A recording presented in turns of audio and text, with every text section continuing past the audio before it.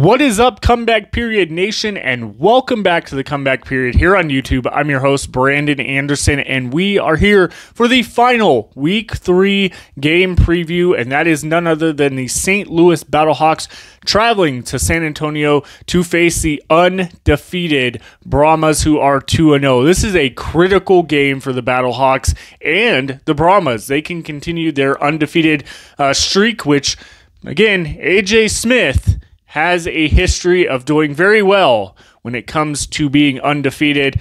Man, oh man, if you look back at the Houston Roughnecks in 2020 and what he did with PJ Walker and that offense, there's a lot of similarities uh, heading into week three and just what he has done for the Brahmas. A little shaky last weekend, but this upcoming weekend, I think they're going to be heading into San Antonio back home, and it's going to be a show to not miss. So let's go ahead and dive into week three preview, starting off with the UFL's official injury report.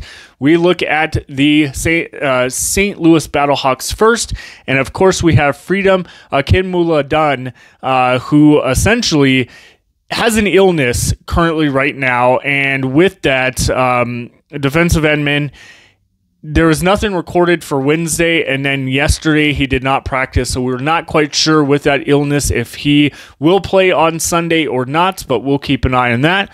Then we have Ben DeLuca, uh, free safety, right hand injury, full uh, participation on Wednesday and full on Thursday. Looks like he'll be ready to go for game time on Sunday. And then we have Mike Rose uh, middle linebacker, left ankle injury, limited practice on Wednesday and Thursday. Another player to keep an eye on to see if he will be playing this upcoming weekend. Then we switch over to the Brahmas. The Brahmas injury report list is massive. So let's go ahead and dive into it. So, uh, Bo Pete, uh, Keyes, cornerback right, groin injury, limited practice both days.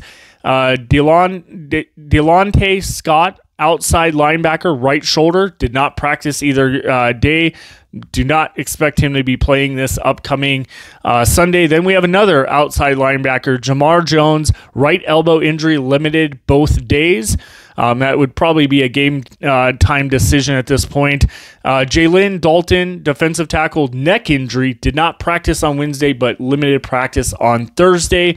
Um, Anthony McFarland Jr., right shoulder injury, running back, full practice both days. He should be ready to go for game time. And then we have Dar- Darius Phillips, cornerback, left hip injury. Uh, did not practice on Wednesday, limited on Thursday. Uh, Kayvon Kayvon Pay- uh, Payton, defensive tackle, abdomen injury, full practice Wednesday and Thursday. Uh, Derek Kelly, the second offensive lineman, left hamstring, limited practice both days. Zach McLeod, outside linebacker. There's a lot of outside linebackers with injuries. Left ankle injury, did not practice uh, both days. And then we have Landon Akers, wide receiver, right hamstring, limited both days. So again, San Antonio's banged up, but I fully suspect suspect they will be at their highest level still heading into this game. So let's go ahead and dive into this article from uh, James Larson from Pro Football Newsroom. Week three, the UFL will wrap up with a battle between two giants in the XFL conference. The San Antonio Brahmas host the St. Louis Battlehawks, playing each other for the first time since week one week one of the XFL 2023 season, which is absolutely crazy to think. Since then, a lot has changed, at least for San Antonio. They are a completely new team with Wade Phillips at the helm. So far, the Brahmas have won their first two games. In week two, they put together a remarkable comeback effort to top Memphis. Offensive coordinator AJ Smith got them on the right track at the last moment, and they scored the go ahead touchdown with three seconds left to play. For the Battlehawks, they were able to make their home debut last week, setting a modern spring football record of 40,000. 1,317 fans in attendance. It was a magical night with a magical walk-off winner from kicker Andre Szmyt. Uh, St. Louis will now have to come down from that high and focus on picking up a massive road win that could push them to first place in the XFL conference. Let's take a look at the key factors ahead of this UFL matchup. Quarterback play. San Antonio Brahmas love to throw the football. Chase Garbers attempted 40 passes in their win over Memphis and ended up uh, compiling almost 300 passing yards on the day. When Garbers is hot, he's one of the best quarterbacks in the, this league. He can make throws at almost every angle and has excellent touch on the ball. According to PFF, Garbers currently has a 74.3 offensive grade on the season, which is above average. His play has been uh, relatively inconsistent from quarter to quarter, but these are growing pains we expect, expect from a young quarterback making his uh, first professional starts we know what to expect when it comes to AJ McCarron. St. Louis legend absolutely lit it up on Saturday night, throwing for 248 yards and two touchdowns as the Battlehawks came away with a big time divisional win. This week, though, McCarron is going to have to focus on getting the ball out of his hands efficient, efficiently. St. Louis, or St. Louis, sorry, San Antonio's pass rush is one of the fiercest in the UFL, doing an excellent job of getting to the quarterback quickly. This is something that offensive coordinator Bruce Gradkowski will have to keep in mind, no doubt. Standout playmakers. So, where do we even start? James says both of these franchises are stacked with unbelievable talent. Looking at the St. Louis Battlehawks, their receivers have been playing impressive football. Marcel Ateman, in particular, has taken over the clear wide receiver in offense. He posted 114 receiving yards and two touchdowns on Saturday, completely controlling Arlington's defense from start to finish.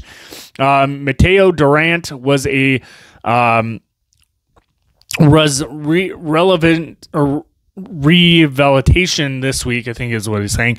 Uh, he was a healthy scratch in week one, but ended up jumping into action this week, totaling over 100 rushing yards, including the run that set up the game winning kick. Durant should be running back one heading into the into this slate of games. San Antonio's offense is electrifying when it's humming uh, Marquez Stevenson, uh, Jontre, John Trey Kirkland, Justin Smith, and Cody Latimer have all made plays when necessary over the past two weeks. Stevenson is separating himself as one of the top wideouts in the league and is bound to continue this offense uh, generates as this offense generates stronger chemistry from week to week. For the Brahmas, can their running backs get going this week? Anthony McFarland was nowhere to be found on Saturday. Granted, AJ Smith mentioned that some run plays they had called ended up not seeing the light of day due to penalties. Speaking of which, the Brahmas committed 14 penalties for over 140 yards that cannot happen again. And we talked about this on those post game recaps last weekend that penalties were killing some of these teams. And the Brahmas were one of them. They, lucky enough, got that drive off in the last minute of the game, or two drives off in the last minute of the game to come back and win it. But penalties, they were shooting themselves in the foot with these penalties. 140 yards is outrageous. Um, defensive matchup, the. Um, Brahma's pass rush will be tough for St. Louis to slow down. In just two games, San Antonio has notched seven sacks, making opposing quarterbacks' lives miserable. Tim Ward, Wyatt Ray, uh, Kayvon Patton, Jordan Williams, etc. They have all been having excellent seasons. In the secondary, San Antonio has implemented what defensive coordinator Will Reed calls a bend don't break strategy. That was relevant or evident in week two where they had they held Memphis to four field goals in the red zone. Jordan Mosley has been having an outstanding year so far at safety and led the team t- with 10 tackles last weekend. For St. Louis, uh, Pita has been a much needed addition to their front seven. The XFL's Defensive Player of the Year was on a mission against Arlington, sacking Perez twice and racking up three tackles for a loss for losses. Generally speaking, though, the Battlehawks line has some work to do. Their run defense hasn't been ideal the last two weeks. Across the board, the Battlehawks defense is middle of the pack. It is much stronger unit than last year, though so as the new pieces continue to build chemistry with one another. Those numbers should improve special teams. Now, on the special team side of things, San Antonio has a major shakeup heading into this game. Their kicker Donald De La Haye Jr. destroying, fractured his neck, making a tackle. This has led him to be placed on the IR in return, uh, or in turn, uh, Ryan Santos I believe it's Santos, has signed with the Brahmas. This will be a challenge for San Antonio as they have yet to attempt a field goal this year and now might have to do it with a brand new piece.